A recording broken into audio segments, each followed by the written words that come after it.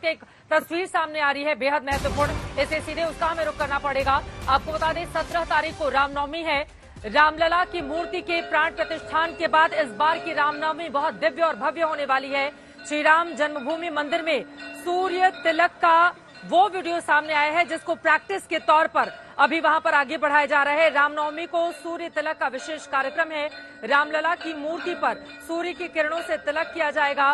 मंदिर प्रशासन के रिहर्सल का वीडियो सामने आया है, जो हम आपको दिखा रहे हैं। ये तस्वीरें अपने आप में बेहद अहम हो जाती हैं और यकीनन श्री राम के नाम को लेकर एक तरफ़ बीजेपी चुनावी मैदान में है क्योंकि 22 जनवरी को प्राण प्रतिष्ठा का भव्य कार्यक्रम हमने देखा था और जितनी भी अलग अलग रैलियों में प्रधानमंत्री जाते हैं, वहाँ पर इसका ज़िक्र करना वो नहीं भूलते। 500 सालों के बाद ये मौका आया जब भगवान श्री राम अपने भव्य राम मंदिर में विराजमान है तो वहीं सूर्य तिलक कितना दिव्य और भव्य रहने वाला है माना जा रहा है लाखों लाख लोग रामनवमी के अवसर पर अयोध्या में मौजूद रहेंगे और इस अद्भुत नजारे का वो गवाह बनेंगे, साक्षी बनेंगे। प्रशासन के सामने बड़ी चुनौती है। उन्हीं चुनौतियों से निपटने के लिए पहले से ही वहाँ पर आप देख रहे हैं कि किस तरह से लगातार कोशिशें की जा रही हैं ताकि कोई भी गलती या कुछ भी ऐसा ना हो, ताकि श्रद्धालुओं को असुविधा हो।